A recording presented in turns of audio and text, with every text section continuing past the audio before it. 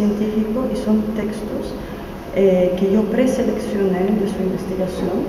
y que pasé a la mesa a mis alumnas entre primero y cuarto medio de arte del colegio para que eligieran fragmentos que les parecieran más impactantes o más importantes para difundir.